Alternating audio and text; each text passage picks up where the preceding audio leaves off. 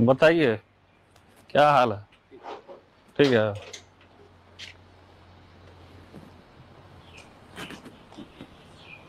नाराज़ है क्या सर? हैं? नाराज़ है किससे? उनसे? नहीं तो?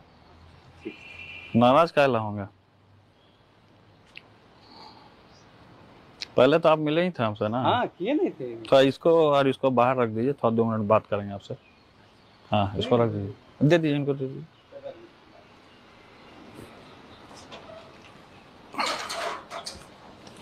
दोस्तों, मैं आपको सच्चाई दिखाना चाहता हूँ कि किस तरीके से हमको बदनाम किया जाता है। ये जो वेद प्रकाश हैं, जो अपने आप को बहुत बताते हैं कि हम मीडिया के हैं और बहुत साख छवि के हैं, अच्छे छवि के हैं। लेकिन मैं दिखाऊँगा आपको कि किस तरीके से ये लोग बदनाम करते हैं।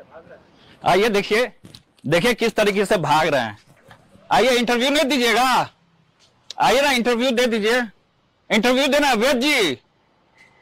ए वेद जी इधर आइए ना कहाँ भाग रहे हैं? अरे वेद जी कहाँ भाग रहे हैं? दिखाओ दिखाओ दिखाओ वहाँ ले जाके दिखाओ। ये देखिए किस तरीके से भाग रहे हैं।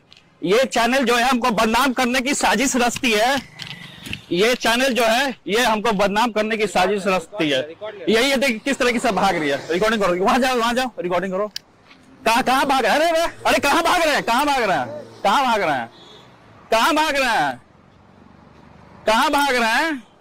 ये देखिए किस तरीके से हमने इनको बड़ा आदर से, बड़ा सम्मान किया कि आइए दो मिनट बैठते हैं, चाय नाश्ता करते हैं। लेकिन ये तो गाड़ी उठा करके भाग गए।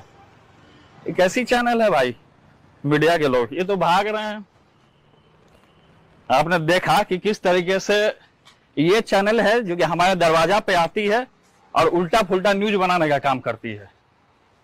हम तो कहेंगे कि ऐसे चैनल पे मैं एफआईआर और मानहानि का मुकदमा करूँगा।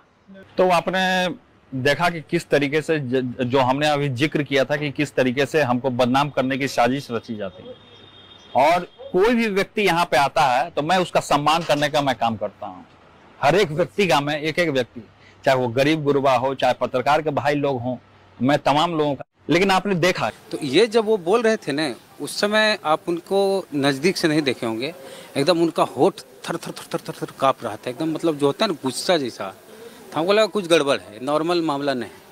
तो उसके बाद हम अपने साथ जो कैमरा हमारा पर्सन थे, उनको बोले, चलिए अब गाड़ी में जो स्थिति ठीक नहीं लग रही है, जो व्यक्ति अपनी पार्टी के एमएलए एक चीज़ था कि लालू यादव जी की बात करें तो लालू यादव दलितों को आवाज़ दिए बिहार में। बाबा साहब संविधान लिए, लिखे और उसको लागू लालू यादव कराए बिहार में बढ़िया से। और दलित बोल सके बोल्डली बोल सके इसमें लालू यादव का योगदान है और रहा है और रहेगा, हमेशा माना जाएगा सामाजिक न्याय के लिए।